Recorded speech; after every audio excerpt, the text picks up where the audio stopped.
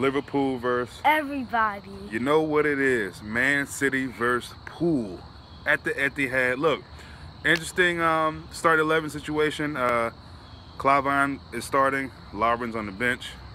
Uh, the new boy, Alex Oxlade-Chamberlain's coming off the bench as well. Um, no Coutinho, we already knew that was going to happen.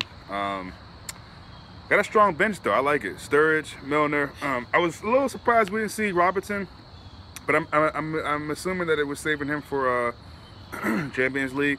But how nice is it to have that that headache? You know, at one point we had Steven Caulker coming on, or Jose Enrique, or all these guys who didn't really thrill you uh, for coming in. But the fact now that we have to keep guys out of the team, Grujic, um, we still have no Lallana, Sturridge on the. I mean, Jurgen Klopp is a very humble guy, but he knows what he's doing with this team. Like he's really, really, really changing the guard at Liverpool, in my opinion and um, times are times are changing, and it's looking really good. Uh, so I'm excited about today. Um, we got to keep, we got to just come out and fight. Got to come out and fight.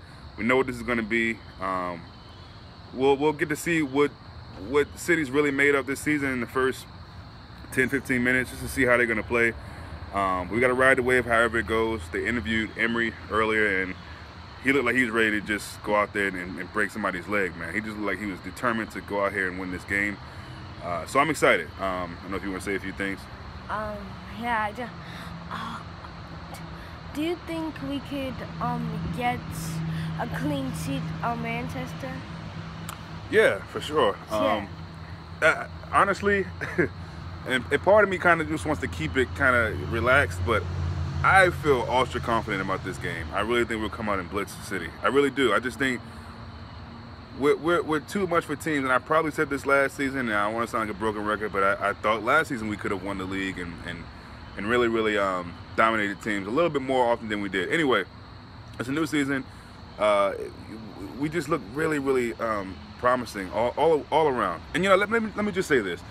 We know what our defense is. We know how at times the defense can let us down. That's what we got right now. We didn't get any reinforcements in the um, center back positions. We got one.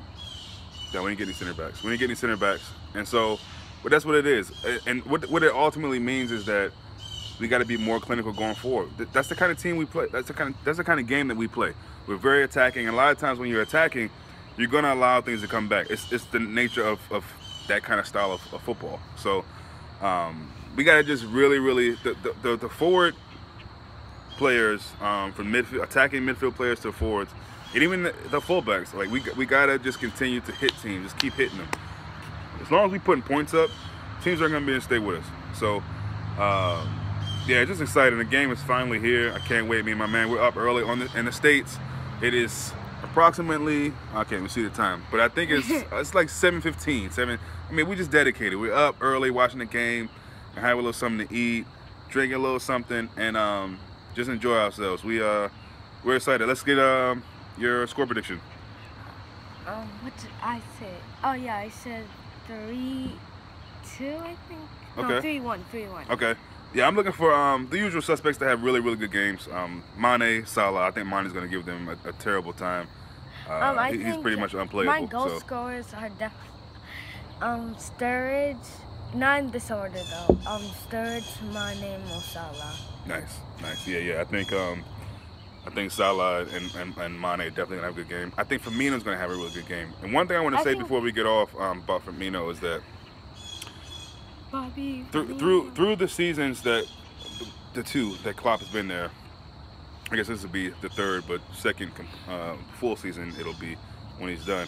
Um, one of the things people have said is that uh, you know or questioned is why we haven't got uh, you know an out and out striker and I gotta say something, man. Firmino is just really, really underrated. And even when he doesn't score, that's what I'm gonna say. Like he's he's he he's does my, it, he at least does an assist.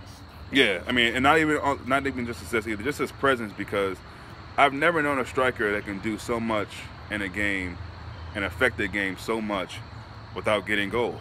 I mean, he breaks up the defenders um, and allows his teammates to come in and, and, and get goals and he's, he's, he's the ultimate team player, and he's always hustling. He's always there. He's always in the right place at the right time.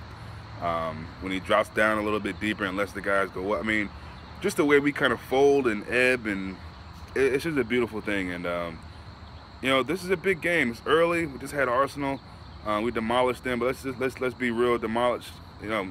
Let's be real. Arsenal just they, they weren't an inspired team that day, and so um, we got to expect a little bit more with this City team. So um, we're going to wrap it up and we'll see you guys at halftime. Let's do this.